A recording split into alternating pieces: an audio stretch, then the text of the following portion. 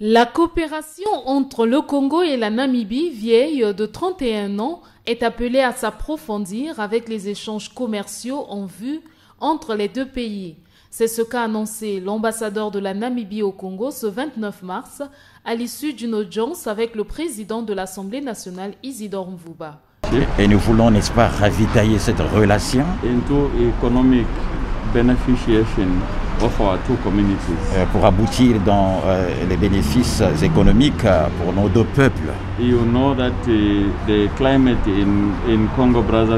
Vous vous rendez compte que le climat qu'il y a au is Congo-Brazzaville là, excellent for est vraiment excellent pour les investissements. The weather is good. to Le climat est bon pour la production des fruits, pour les industries. Exported Nous voulons que ces fruits soient exportés to Namibia. vers la Namibie.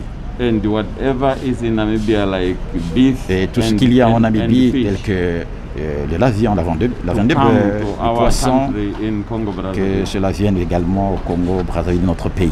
L'ambassadeur de la Namibie au Congo est favorable à une meilleure implication des parlementaires des deux États en faveur de la concrétisation des accords conclus dans le domaine économique entre les deux pays.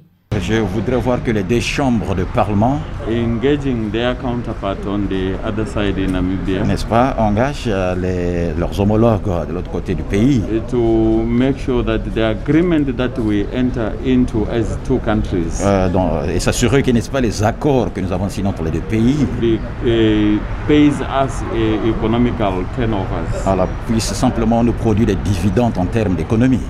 En dehors des accords économiques, plusieurs autres accords de coopération dans les domaines comme les infrastructures, le tourisme et l'environnement lient le Congo et la Namibie.